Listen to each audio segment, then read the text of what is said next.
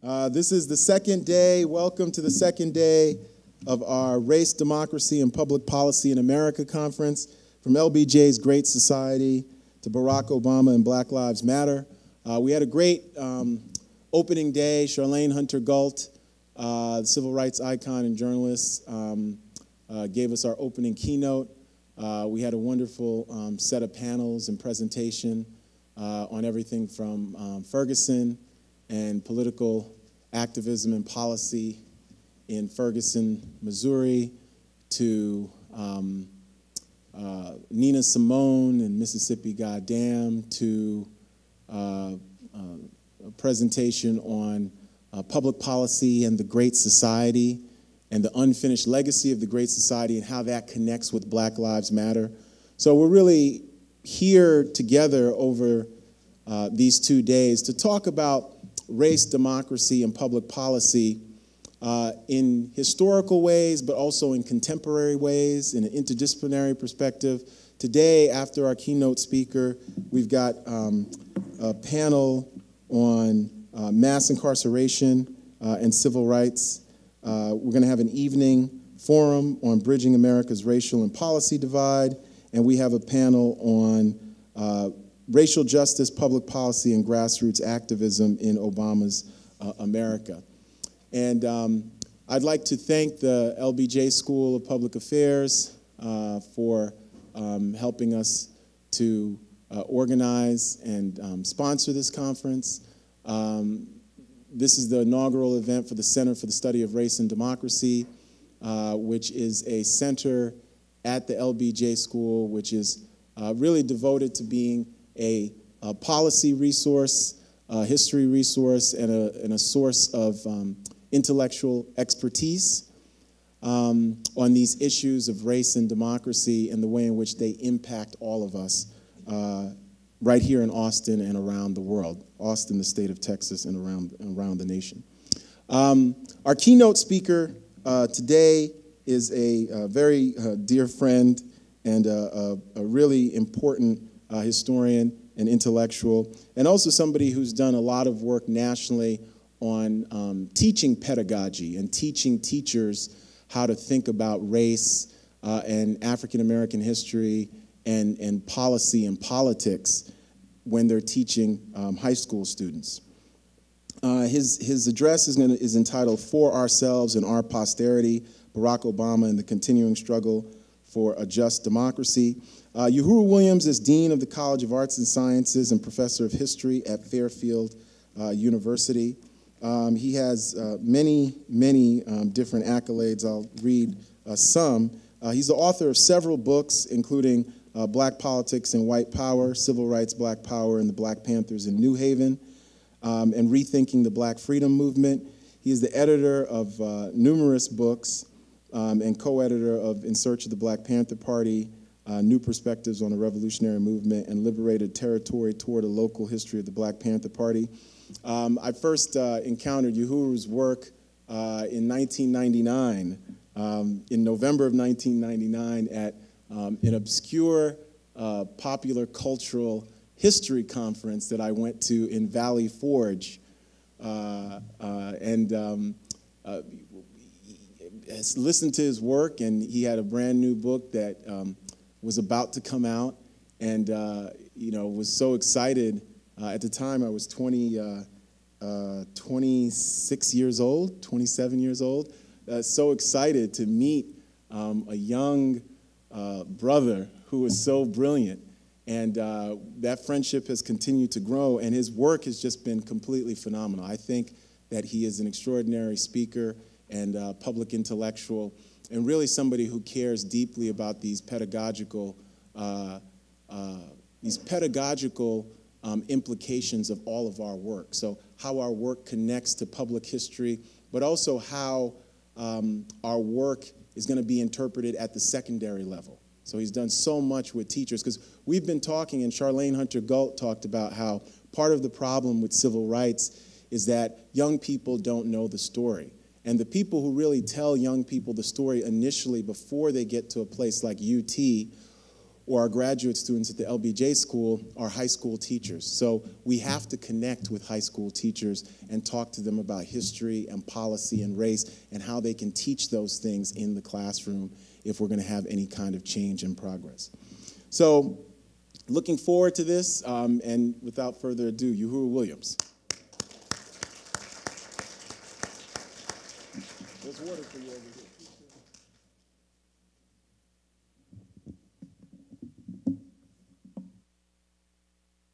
I want to thank Peniel for inviting me. I can't believe it's been that long. It really, it's been that long. It's been that long. You look great, and I look older. Um, I want to spend some time, and I also want to thank the Center for Race and Democracy here at University of Texas, the LBJ Center, for hosting this conference. It is, of course, an important conference. And I want to talk to you a little bit about this. Charlayne, in a way, stole my title, because a couple of years ago, when we first had this conference, the title of my talk was We the People.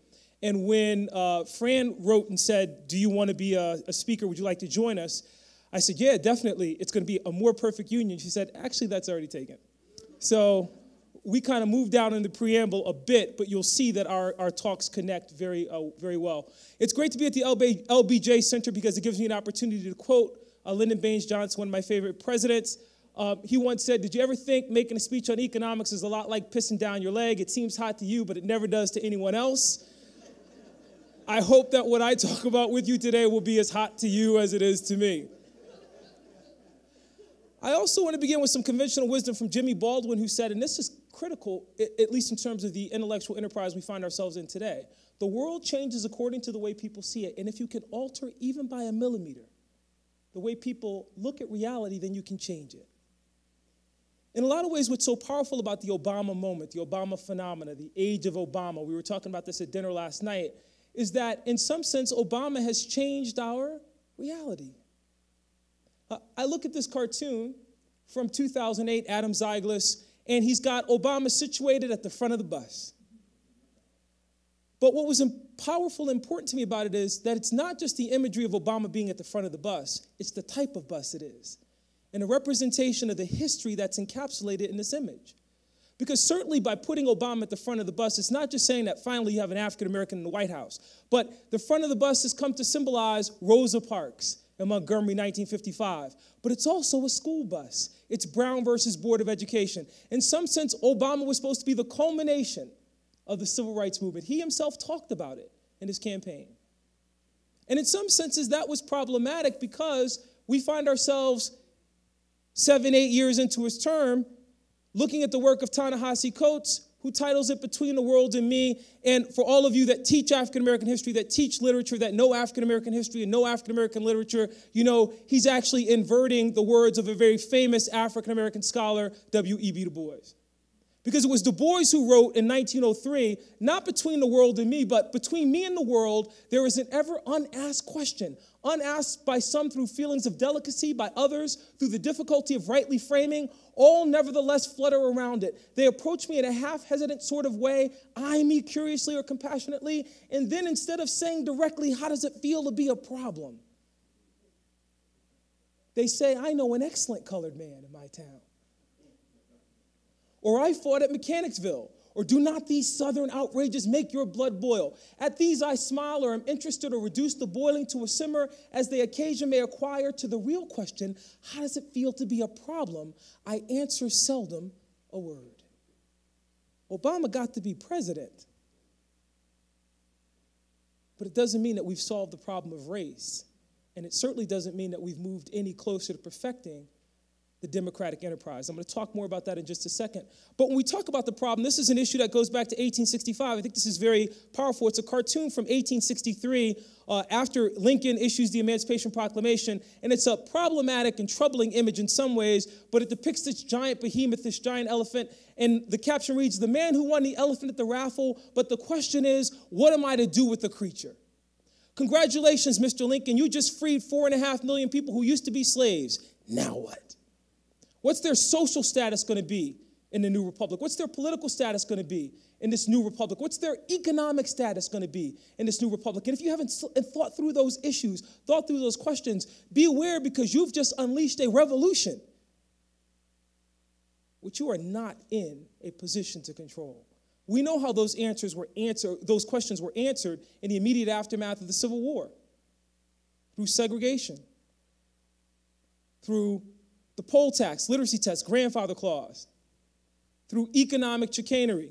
But the problem for us is that it doesn't mean that that moment wasn't born of the promise of American democracy. It doesn't mean that we robbed from, from Abraham Lincoln and the radical Republicans in Congress their intent to ensure a just democracy. It doesn't mean that we divorced them from what Christopher Eisgruber from Princeton University has described as our enterprise toward moving toward a society which is more democratic and just. Eisgruber has written, it's important. American government aspires to be both democratic and just. But the problem is, to insist that justice and democracy coincide makes heavy, but we may hope not unreasonable demands upon the American people.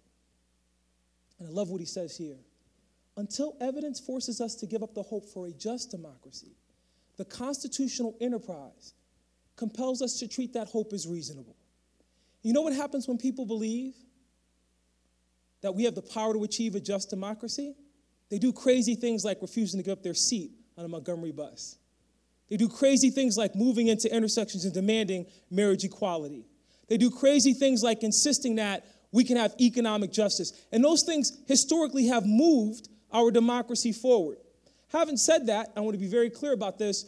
It is in those moments when people move into those intersections and demand those constitutional rights, push the boundaries of our democracy, that we find our core democratic values. And I want to be clear with you. I'm going to say this several times today. I'm going to say it early. I'm going to say it often. In fact, I'm going to talk so fast, you're going to think I'm going to sell you a car. But you're not going to find our core democratic values in the Constitution. You will not find them in Article 1, Section 8. You will not find them in, in, in, Article 4, Section 2. That is not where our core democratic values are located. Our core democratic values we find in the aspir- aspirational language of the Declaration of Independence and the preamble. It's what we aspire to be. We hold these truths to be self evident that all men are created equal. We don't always live up to it, but we aspire to that. We, the people, in order to form a more perfect union. It's that aspirational language that we find in the preamble that really defines our core democratic values. In fact, the National Council for the Social Studies has boiled down core democratic values for elementary students. I think these are powerful. It's worth the exercise of going through them with you. I think you'll find them entertaining. This is what they say. Number one, each citizen has a right to what? Help me here. You, can, you guys can speak life. Where are they taking that from? Not Article 1, Section 8. They're finding that in the Declaration of Independence. Take a look at the second one. The pursuit of what? You can't make this up. So, literally, when those educators got together and said, What is it that we believe elementary students need to know? What are our core democratic values? They literally are lifting these out of the, the, the, the phraseology of the Declaration of Independence. And look how they describe them. Each citizen can find happiness in their own way as long as they do not infringe on the rights of others. Look at number three liberty including the freedom to believe what you want, freedom to choose your own friends, to express your ideas and opinions in public, the right for people to meet in groups, and the right to have any lawful job or business. Then it gets cute. Justice. All people should be treated fairly in getting advantages and disadvantages of the country. No group or person should be favored. Popular sovereignty. The power of the government comes from who? Truth. The government and citizens should not lie. I told you it was going to get cute. Because if that's the case, then the government and citizens should not lie. In fact, I'll deal with that with you in just a second. I want to go back to this issue of, of life, and I want to deal with this issue of citizenship because, quite frankly, it's one thing to talk about those core democratic values having meaning, it's another thing to tease out the, the implications of the fact that this is a enterprise that over time has changed, right? So we the people, that meant one thing in 1789 right? Going to mean something very different in 1830 in the age of Jackson with the expansion of the electorate. Going to mean something very different in, in 1870 with the passage of the 13th, 14th, and ultimately the 15th Amendment. It's going to mean something very different in 1920 when women win the elective franchise. It's going to mean something different in 1965 with the passage of the Voting Rights Act of 1965. It's going to mean something very different in 2000. Remember those pregnant chads in Florida? It means something very different in 2008, and I think it's going to mean something very different in 2016. Because the people have changed. Some people say that's the genius of our Constitution that has the ability, uh, uh, the power to be amended, to grow, to expand. But at the same time, it forces us to deal with those moments because let's be clear. If Hillary Clinton is to be elected the next president of the United States, she certainly wasn't the first woman to run, and Obama wasn't the first African American to run. And in fact, the first African American woman to run was Shirley Chisholm in 1972. And Shirley Chisholm, in defining her campaign, said to her followers, to her supporters, Listen, let's be clear. I was the first American what? I had a right to do this. My birthright as an American citizen to run for the presidency of the United States. She continues. I was the first American citizen to be elected to Congress in spite of the double drawbacks of being female and having a skin darkened by melanin. When you put it that way, it sounds like a foolish reason for fame. Listen to her. In a what? And you guys have no energy. In a what? And I need you to understand this because they're critical words. She is connecting with eyes Eisgruber here. They're in conversation. In a just and free democracy society, it would be foolish that I am a national figure because I was the first what? Person, not woman. You guys follow me here? Not African American, but person. Because black lives matter, black people matter, citizens matter. To be once a congressman, black and a woman, proves, I think, that our society is not either just or free. I need you to follow me here because remember in 2008, uh, uh, remember Obama got in trouble in 2008 when he was uh, delivering his campaign message, and, and, Hillary Clinton accused him of stealing words or, or borrowing liberally from Deval Patrick of Massachusetts. Now, what was interesting about that is that when you put Deval Patrick's words up against Obama's words, they did sound suspiciously close. Uh, Deval Patrick said, Don't tell me words don't matter. Um, and you got Obama saying the same thing. Where I want to go with you is that when Hillary called Obama on it, Obama said, look, there are certain concepts in American history, there's certain language that you can't copyright, that nobody owns, because they're ultimately part of our DNA. Our dreams, how we nurture those dreams, and ultimately how we act upon those dreams when our democracy is in jeopardy. That's why, in those moments when we find ourselves looking at or contesting the issue of Black Lives Matter, we say, look, I have a dream is something that transcends the Reverend Dr. Martin Luther King. You can't copyright that. You can't own that.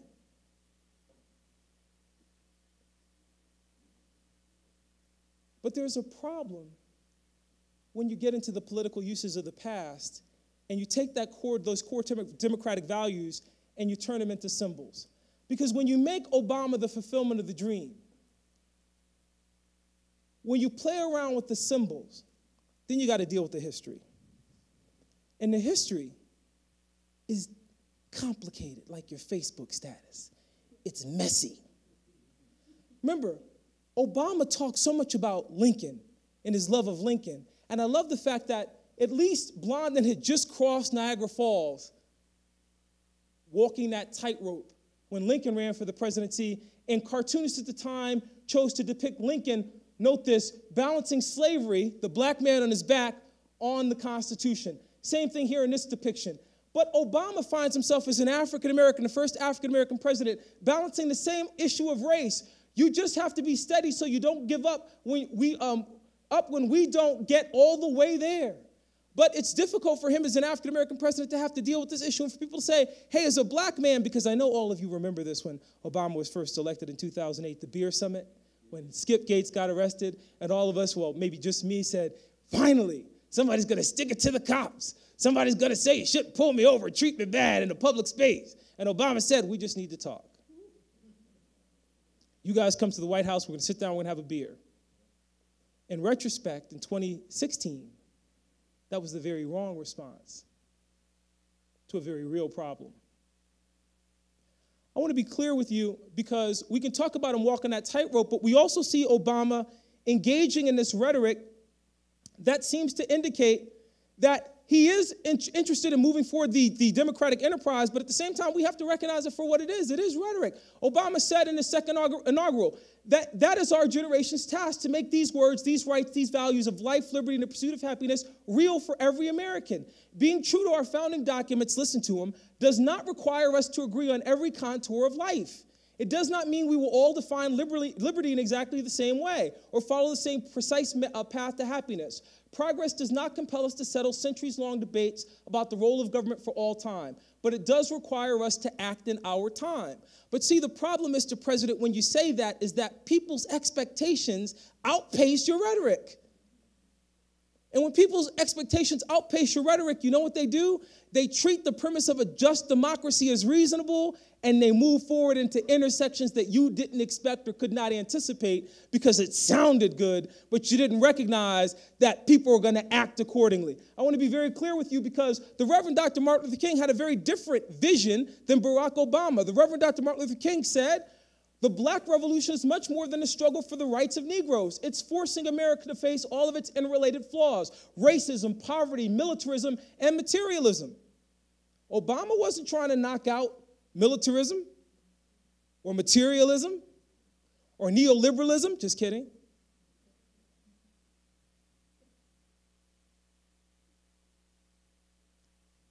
But the symbol looked really good, worked really well. I want to be clear with you when I say that because if we value life,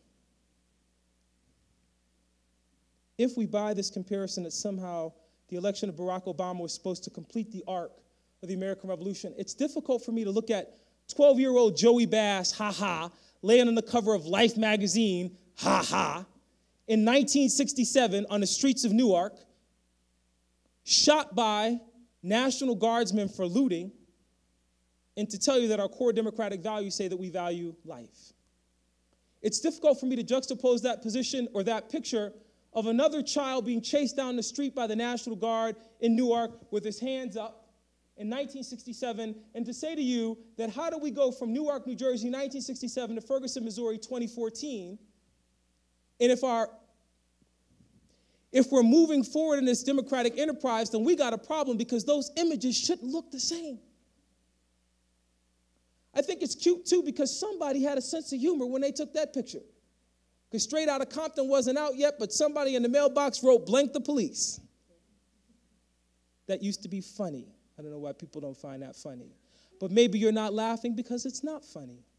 Because maybe you're not laughing because this was the National Guard in 1967 and it had to be called out in riot gear. Those are the regular police.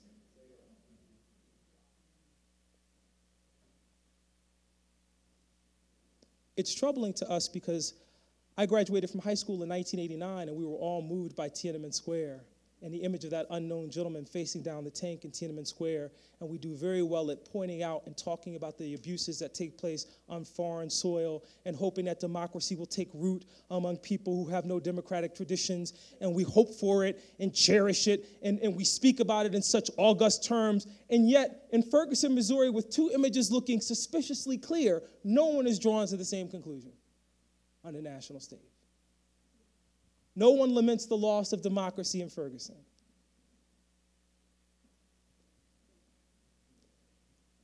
If truth says the government and citizens should not lie, what the hell is going on in Flint? Those are core democratic values.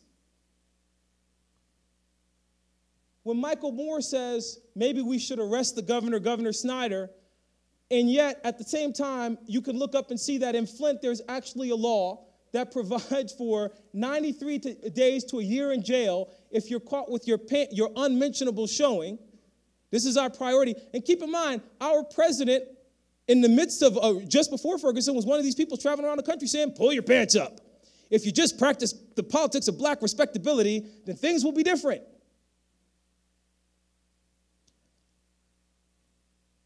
We want to blame this guy.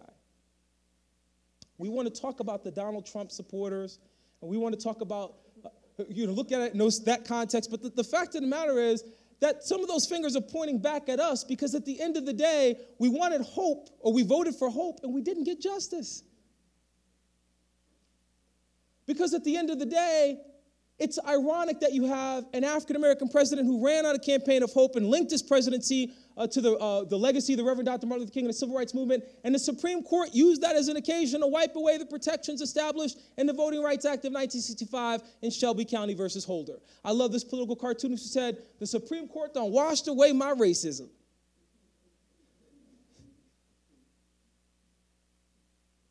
But you know, here's the problem American tragedies are historically born of a rejection, a repudiation of core democratic values.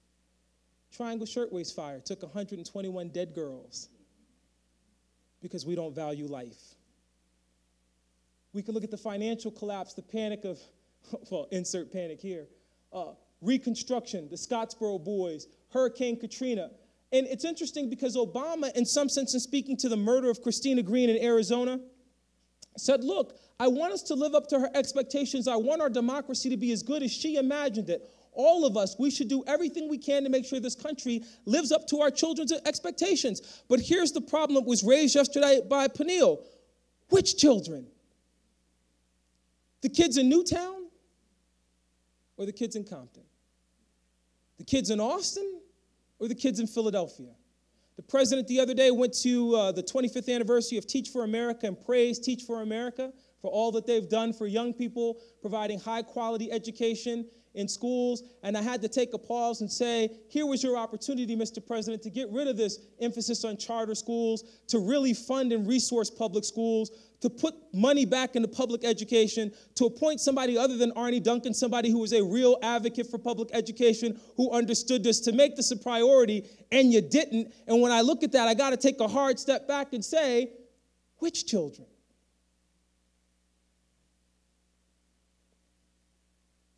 I don't want to put you to sleep. But when we go back to core democratic values, I got to tell you that when we talk about justice and her, I love this, Lady Justice and her blind seeing eye dog. She's blind, but the dog sees racial, racial bias. that we don't understand, Callie and, and, and the panel that will follow me will talk about this. when you, when six-year-olds are being arrested, see, the tragedy of Sandra Bland is not Eighth Amendment cruel and unusual punishment. The tragedy of Sandra Bland is the Sixth Amendment. The hell are you talking about, Yohuru?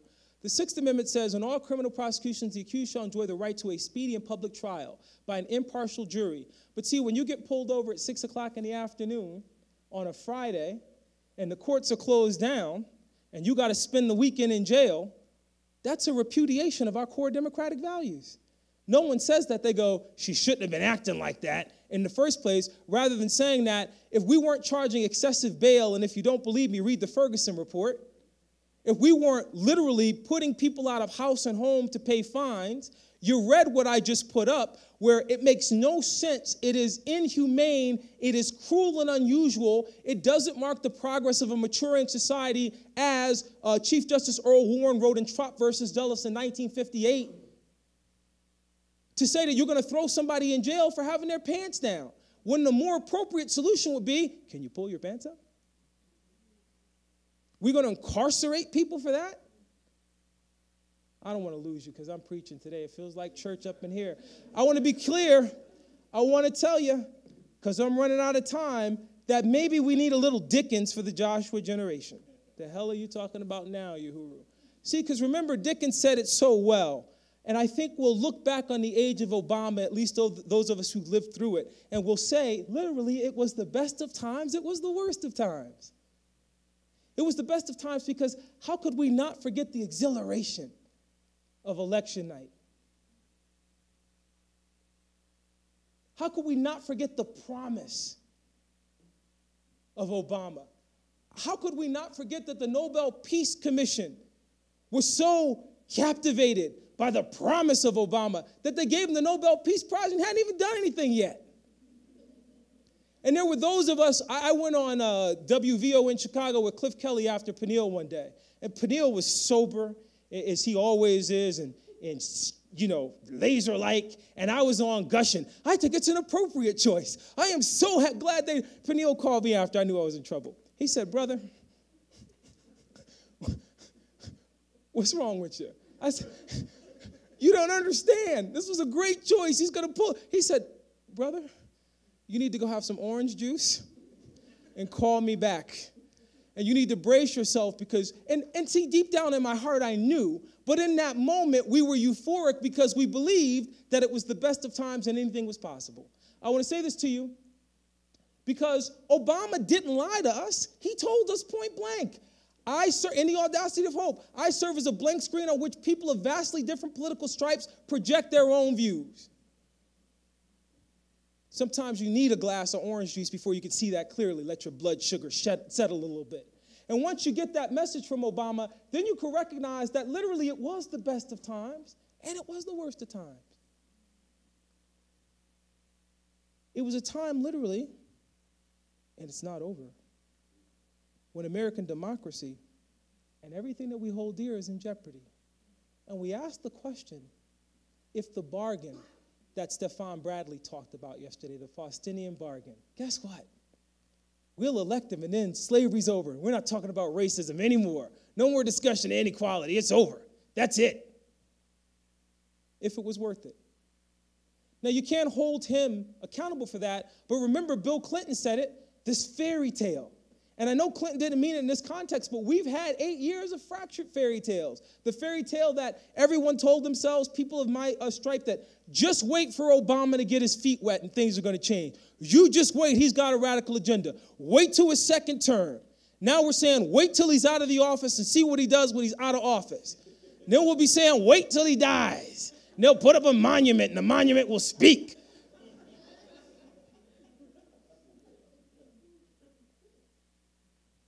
But the reality is, but the reality is, there hasn't been much hope and change in some arenas. It doesn't mean that we're taking away what he accomplished, but it means that we're being sober in the way that Peniel had advised, because ultimately, at the end of the day, we can't say that nothing was accomplished. I love this cartoon. Uh, this was Obama's first inaugural, and this is Obama's second inaugural. And I believe that's true for a certain segment of the population, but again, have those gains been general? Have they been across the board? It forces us to contend with the fact that we've got an African American president, a Latina on the United States Supreme Court, an African American um, uh, uh, uh, attorney general, and yet in 2016, we're arguing about the lack of diversity in the Oscars. That got a big laugh in Peoria.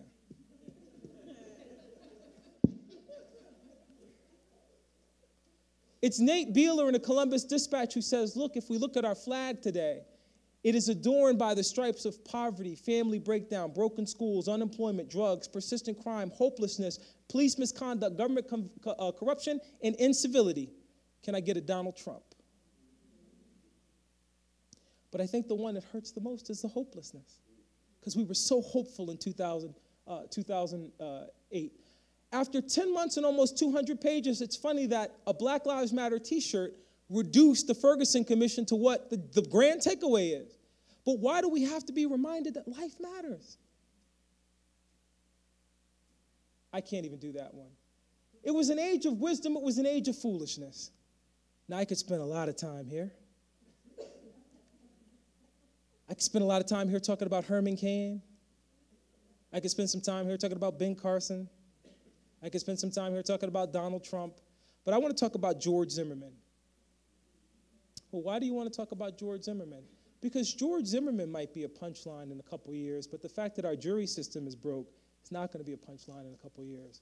The fact that prosecutorial misconduct is real won't be a punchline in a couple years. The fact of the matter that stop and frisk and that black and brown bodies are not safe in public spaces won't be a punchline in a couple years. The fact of the matter that stand your ground, which is inconsistent with life, liberty, and a pursuit of happiness, won't be a punchline in, in a couple years. It puts democracy literally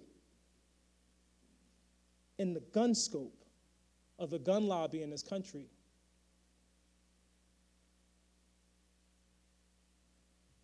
And the president cries, and I give him credit for taking action, but at the end of the day, how many Newtowns?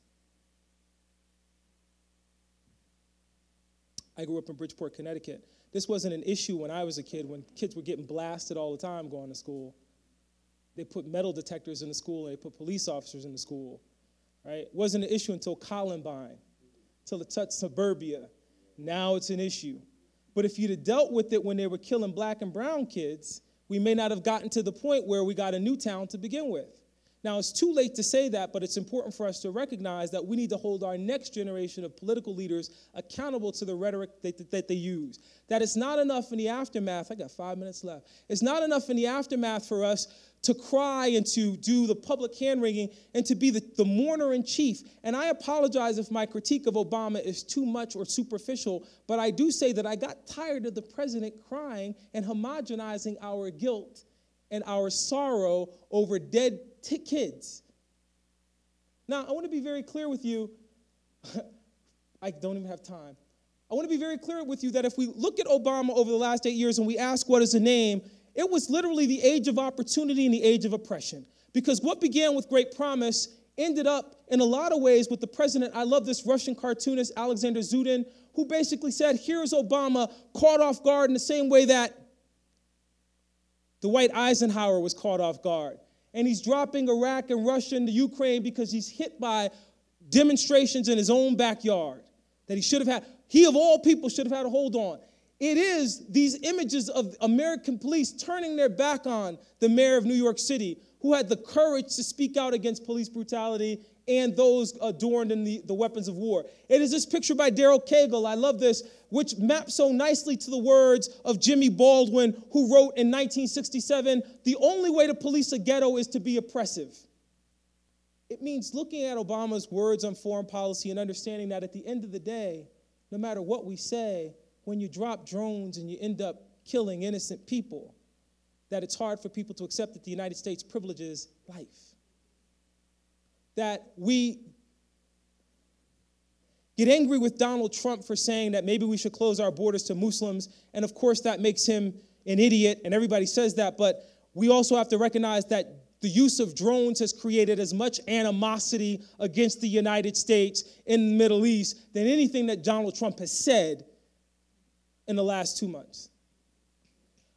We have to recognize, as this Chinese cartoonist did, that CIA torture and the Ferguson protests go hand in hand, whether we want to recognize it or not, and that they taint our emphasis on our privileging of human rights.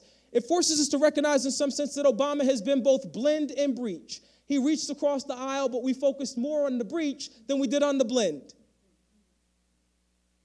We talked about his feet on the desk him bowing to officials, him ha- the, the, the, flag pin controversy. I have on my lapel now a pin I got from uh, the Obama administration for going to Ferguson. He didn't give it to me. Probably be nicer if he did. But I was very happy to have it. But what was important for me is that we also forgot to blend that. In some sense, what we'll take away from the age of Obama is the fact that when I went to, and I said this to you uh, yesterday, when I went to DC, it was the array of colors the Rainbow Coalition that has emerged in Black Lives Matter and other movements. It is Occupy and the now again, people said, where were the black folks in Occupy? But we certainly have seen coalition building on a scale that we haven't seen in a long time. Peniel spoke to that yesterday as well. I'm running out of time. So we also have to deal with the A in Obama, the American and the alien. I mean, we still talk about people's birth certificates. I mean, the Ted Cruz thing to me is funny. I find that entertaining. But it really wasn't funny when they were talking about Obama. It's actually really not funny when they're talking about Ted Cruz. But it's not just the American and alien in terms of Obama being not a US citizen, it's the alien in terms of Obama being a person of color, and we don't want to deal with that. Because when Obama says Trayvon Martin could have been my child, and the response that Obama got when saying Trayvon Martin could have been my child, problematic. It's Obama the magnanimous and Obama the Marxist. It's Obama the dictator and Obama the, uh, the, the uh, author of, of healthcare. It's Obama the attentive and Obama the acrimonious. But at the end of the day, W.E.B. Du Bois has some advice for the Joshua generation. I'll end on these two slides. I'm done. Du Bois said, There was a day when the world rightfully called Americans honest, even if crude, earning their living by hard work, telling the truth no matter whom it hurt, and going to war only on what they believed a just cause after nothing else seemed possible. Today we are lying, stealing, and killing. We call all this by finer names advertising, free enterprise, and national defense. But names in the end deceive no one. Today we use science to help us deceive our fellows. We take wealth that we never earned and we are devoting all of our energies to kill, maim, and drive insane men, women, and children who dare to refuse to do what we want done. No nation threatens us. we threaten the world. Honest men may, may, and must criticize America, describe how she ruined her democracy, sold out her jury system, and led her seats, to ju- seats of justice astray. The only question that may arise is whether this criticism is based on truth, not whether it has been openly expressed. Now, I'm not saying that as an indictment on our system. I'm saying it because we still have the opportunity, in some sense, if we look at the language of the preamble, to recognize that this was never about Obama. And Obama's credit, he told us that. This has always been about we the people. Because the preamble to the Constitution begins not on talking about people that we elect, but talking about us. Charlayne Hunter-Gault was an important person to start all this off because at the end of the day, if she doesn't decide, if we all don't take individual responsibility, collective responsibility for our democracy, then we can't expect anything other than to be let down. John Hope Franklin and Abraham Eisenstadt in the opening of the American History series write that every generation writes its own history for the reason it sees the past and foreshortened perspective of its own experience. But we don't just write our own history, we make our own history. And our refusal to take action, to make that history, to tackle the issues of poverty, injustice, violence, and ignorance place us on the same plane as the political leaders that we are so apt to criticize. Because at the end of the day, the constitutional enterprise ain't about what happens in the White House, it's about what happens in your my house. Thank you.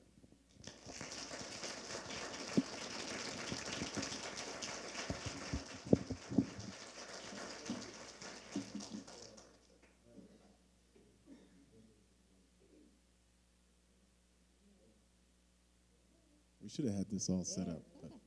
Okay, um, let's get some, thank, well, let's get a round of applause for our keynote speaker again. Thank you, thank you. Very energetic, very dynamic.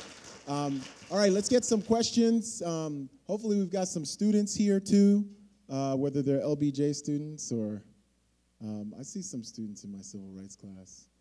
Uh, Alvin, I see you hiding over there.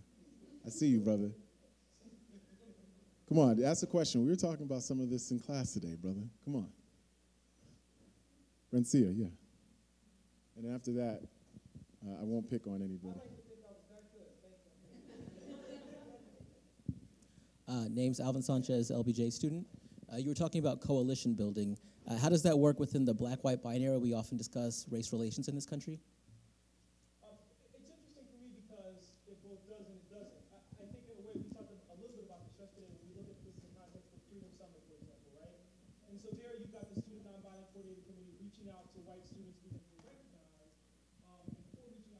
students because they recognize at the end of the day that when you bring young white uh, white kids of privilege to Mississippi and you involve them in that enterprise to um, help register blacks to vote, you're going to bring attention, right? It's ironic for me that in a lot of ways, the Black Lives Matter movement has been so amplified because this is one of the first times that we've seen young people of color across a range, so Latinos, Asians coming together and saying, in this movement, we recognize ourselves and we're making this case because this isn't just about black and brown bodies, it's about undocumented bodies. It's about queer bodies of color, right? And that coalition then isn't necessarily in terms of the white black binary, it's in terms of these groups who previously may not have seen past the silos to recognize that, wait a minute, black lives matter, black queer lives matter, queer lives matter, right? Um, undocumented lives matter. And so, in that sense, I think what you're getting is a much broader coalition that recognizes, in the language of this hashtag activism, an opportunity to see um, the, the, chance to contend for their own liberty, to contend for their own uh, safety. That's excellent. Qu- uh, questions? People are like, no, I got it. I got this, it. This is going to go on my diary, Peniel. That's great. Come on, questions? Any students out here? We've got a question right there. Uh, what? Uh, what's to identify yourself, please? Of the. Can you hear me? By the way, can you hear me? Okay, sorry. What's to, what's to be made of? Oh, can you identify yourself, please? Jonathan Davis, Jonathan. LBJ, uh, master student, first year. Oh, great. Um, what's to be made of the relationship between um, kind of past movements and Black Lives Matters now in uh, kind of the attempted silencing of the movement, especially as it relates to uh, how a lot of individuals believes it's how uh, only Black Lives Matter. I remember seeing not too long ago kind of a, a transposition of of two um, photos, one from one from the late '60s. I'm sure you're familiar with one, one from the late '60s, where a man was saying, "I am a man," and you see there's a a, a, white man that's that's saying like shut up like it's you need to be quiet and it shows that the transposition now to where it's black lives matter and it's shut up no all all lives matter uh, it's a good question you know what what's cute about the all lives matter thing is what's cute about it is um, we sometimes read faith out of our discussion of the civil rights movement and certainly we could talk about martin luther king as a charismatic minister within the Baptist church, but Malcolm X was also a minister, so we, we don't talk about that. But I think the reason it's important and appropriate in the context of Black Lives Matter is that there's this whole notion, even in our discussion about democracy, right, and, and, and that discourse, that if you're not ensuring those blessings for the least of your brothers, then it undermines the whole uh, nature of making the appeal that any life matters. So if you're looking at black and brown bodies being shot down in the streets and your response is all lives matter, and you don't want to deal with the Walter Scotts, the Tamir Rices, the Sandra Blands, the Raynette Turners, um, and all the, all the names of the people that we don't know before this became a problem, all the people like McDonald in Chicago whose cases are coming out now because we're more aware, then you do yourself a disservice of saying, in, in my attempt to silence this movement, I failed to recognize that my own life, my own liberty in some sense may be in jeopardy. There was a slide that I didn't get to that I wanted to show you of a graveyard, a cemetery, and it shows all these tombstones and it shows all these people who were victims of gun violence. And I think when we get to that point where, and we started to see this a couple years ago, where you got, um, you, you know, not to be crude, white folks getting shot in the theater because they turned their cell phone on. Because, see, that's insane. That's not stand your damn ground. That's insane. That's not a castle doctrine. That's foolish. I think when you get to that space, then you'll be in a position where people will, will, will, stop with that rhetoric. But in terms of, of silencing the movement, in terms of, of efforts to kind of take the focus off of the importance of black life, I think part of the reason that the, that has resonated so powerfully with people is because it needs to be said in exactly those terms. That's what W.E.B. Du Bois was talking about in both quotes, the one from 1903 and the one toward the close of his life. That if you're not prepared to deal with undocumented students, if you're not prepared to deal with queer lives, if you're not prepared to push democracy to its logical conclusion, then you're never going to have a democracy that's democratic and just. What you're going to have are these compromises, which at their core are undemocratic because they're about winning the greatest possible consensus and not necessarily about ensuring the greatest liberty for all people.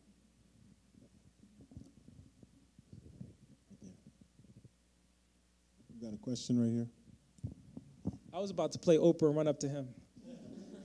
Got my Fitbit on. I was all over that. Um, I just pulled this up on the internet because I want to get the quote precisely from uh, Martin Niemöller. If you're familiar with it, I'd like to see if you could connect this quote a bit to the things you've been talking about. Um, he's a pastor during the Holocaust. First, they came for the socialists. I did not speak out because I was not a socialist. Then they came for the trade unionists. I did not speak out because I was not, a trade unionist. And they came for the Jews. I did not speak out because I was not a Jew. And they came for me, and there was no one left to speak for me. Not only am I familiar with that, that's a, it's a beautiful quote. First, they came for the elementary teachers. then they came for the, now they're coming for the high the, the professorate, right? Now I'm saying that in the context of my own self-interest, right? Because now as we talk about, um, you know, Bernie Sanders and others are talking about free education and, and I support that to a certain extent, I also have to recognize that part of this push, right, is going to involve putting people out of work and, and redefining higher education as we know it. There are going to be a very small number of people that can go to elite institutions, and there are going to be the colleges for everybody else. That's not about, that's the TFA model where you say, look, we want high quality teachers in the classroom, but no one's being honest and saying a high quality teacher can't be somebody that you pluck out of college and throw into inner cities and assume that they're going to be capable to the job. You want your best trained, best educated, best equipped, best prepared people to be in those positions. That means additional education, not four years and thrown in. So it's the dishonesty, the intellectual dishonesty in the discussion, and our inability to recognize in the suffering of others our own interests that perpetually puts us at risk and creates those American tragedies. It is the fact that people watched human beings, gotta say it that way, in Hurricane Katrina. People watched it. And it took Kanye West, God bless him, because I can't stand his music, but it took Kanye West to say, President Bush doesn't care about black people. Thank God they wired his jaw shut and he was able to speak and made that song through. Thank God he could say and did say in, at the most inopportune time, in the most amplified space that he, he possibly could say, President Bush doesn't care about black people. But the irony is that if that had been any place else, the Jersey Shore post Sandy, look at the response to Sandy, look at the response to Katrina. And that says it all. So it's a great question. Great, All right, great we'll, we'll do one more question. We'll do the last one. Uh, outstanding presentation uh, and and very gripping. I just quick question: How could Flint, Michigan happen, and then what do you see as the the result of all of this? Yeah, and I know it's a, a lot. Thanks, Stefan. I was having a good time up here. Um, you, you know, Steph, to tell you the truth, I, I was talking about this the other night. Um, Flint is Love Canal. But people forgot Love Canal, right? Flint is Three Mile Island.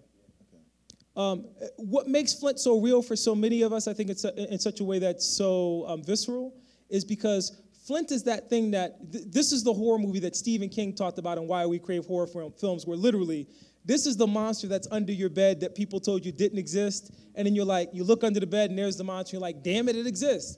But too late for you to do anything about it. The fact that Snyder and the administration knew what was happening in Flint, the fact that they were shipping in bottled water for employees, the fact that they deliberately lied, deliberately lied to the people there, and that there's no, that it was an easy fix, and yet even though they had at their disposal that easy fix and they chose, it, it's uh, Koch America, the Koch brothers America. Um, it's the easy solution America. It's the, um, for lack of a better term, buy now, pay later America. That should make all of us uncomfortable.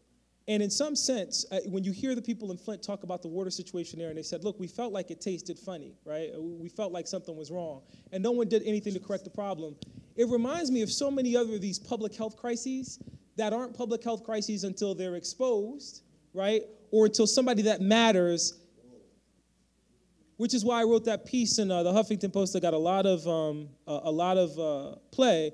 You're nobody till somebody kills you in response to Freddie Gray, and literally in this country, until it happens to somebody that matters, it ain't happening to nobody. Great question. Thank All you. right, thank you.